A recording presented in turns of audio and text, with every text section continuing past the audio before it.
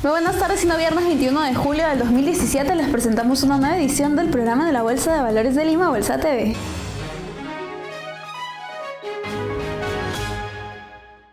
Los principales índices de la Bolsa de Valores de Lima culminaron la jornada en terreno positivo. Eso sí que el índice de Sampi BVL Peruselec ascendió en 0,31% y cerró en 426,62 puntos, mientras que los demás índices presentaron el siguiente desempeño.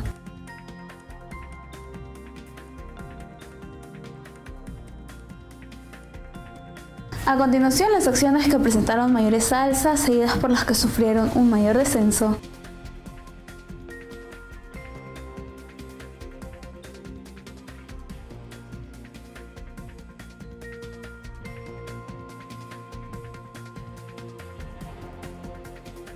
Negociado en la jornada de hoy fue de 65.435.858 soles, siendo la acción más negociada en la sesión la de Volcan, compañía minera, con un total de 21.199.921 soles.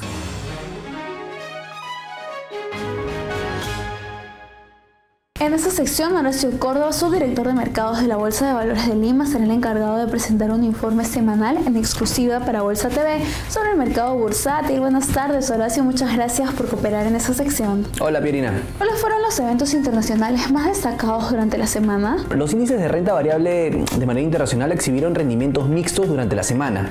La temporada de resultados corporativos del segundo trimestre de este año en Estados Unidos avanza con crecimiento y sorpresas positivas en términos de ventas y ganancias. En Europa, el euro se fortaleció contra el dólar en un 1.6% durante la semana, luego de que la decisión de política monetaria del Banco Central Europeo y el discurso de Mario Draghi sorprendieran inesperadamente con una postura dovish. El presidente del Banco Central Europeo señaló que el BCE discutirá cuándo recortar su compra masiva de bonos en otoño. Por otro lado, la región Asia-Pacífico lideró el avance de los mercados globales en medio de datos económicos positivos de la economía china, al crecer una tasa anual de 6.9% en el segundo trimestre de este año. La cifra superó el consenso de los analistas que esperaban un 6.8 y se ubica por encima de la meta de gobierno que fue 6.5 para este año. En el ámbito local, ¿cuáles han sido los hechos más resaltantes en la semana que nos podrías comentar? En el mercado local se observaron rendimientos levemente positivos, impulsados principalmente por el avance del oro, la plata y el cobre, en línea con mejores perspectivas de la economía en China. En tanto, los inversionistas evalúan las primeras publicaciones de resultados corporativos del trimestre, lo cual inició con los bancos y aseguradoras. En el plano económico, el MEF revisó a la baja las proyecciones del PBI de 3% a 2.8% para este año y de 4.5% a 3.8% en el 2018, en línea con las proyecciones del Banco Central.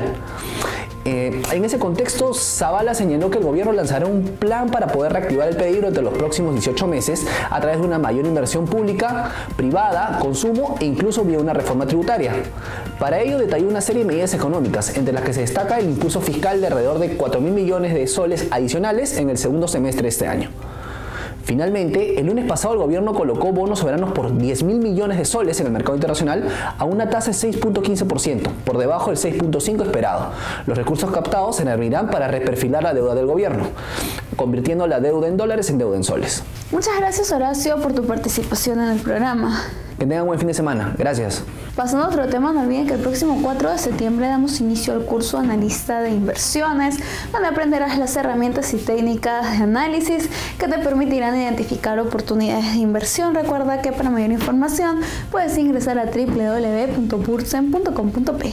Bueno, eso es todo por hoy. Agradecemos al Grupo Coril, Sociedad Agente de Bolsa, por la información brindada en esta edición de Bolsa TV.